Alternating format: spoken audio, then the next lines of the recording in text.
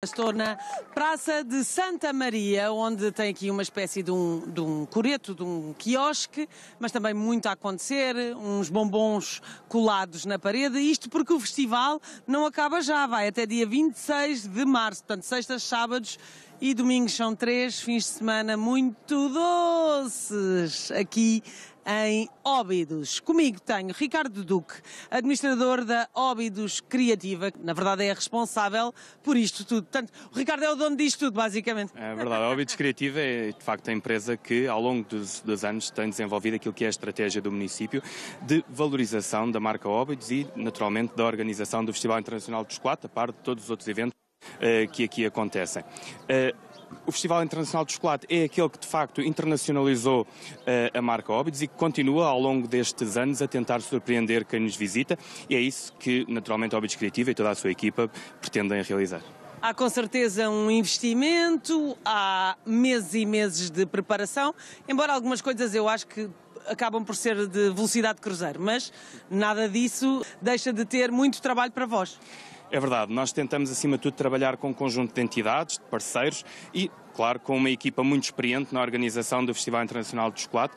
Parceiros esses também que são fundamentais para a prossecução deste, deste projeto, que é um projeto que pretende, acima de tudo, dar palco uh, ao setor, a todos que trabalham no chocolate das suas variadas formas. E é isso que nós pretendemos em Óbidos, que consigamos ter naturalmente os nossos, o nosso público, mas acima de tudo as pessoas que trabalham com o chocolate, os alunos, e por isso há uma aposta também muito grande nesta edição da valorização da formação. Queremos que em Óbidos seja palco e, acima de tudo, aulas abertas também para os jovens que estão a ingressar agora também na área da pastelaria, da chocolataria eh, e, e da cozinha, naturalmente. Faz todo o sentido, até porque depois eh, já me vai explicar na prática o que é que vai acontecer, mas nós não temos gramas, não temos quilos, temos toneladas de chocolate para ser feito, para mostrarem show cookings, para ensinar aos miúdos. É verdade, são 25 toneladas de Ai, chocolate que fazem parte 25. desta edição, eh, que estão envolvidas naturalmente nas esculturas e também em todos os show cookings, em todos os produtos que damos a provar durante, eh, durante toda a edição.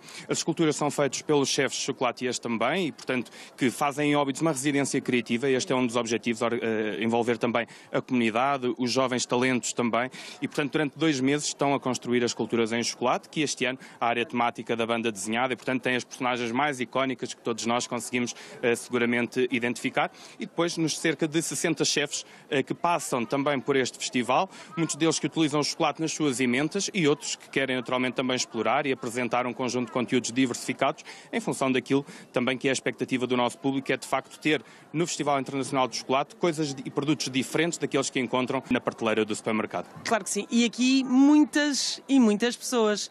No fim de semana passado, 40 mil, não foi? É verdade, nós esperamos uh, receber cerca de 150 mil visitantes.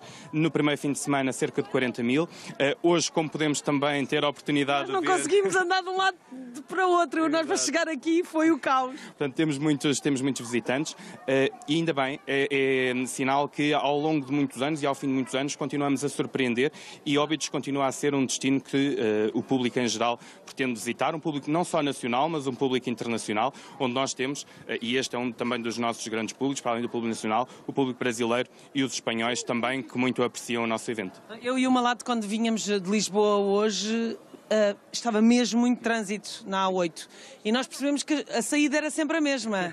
O que é bom, não é? Óbvio.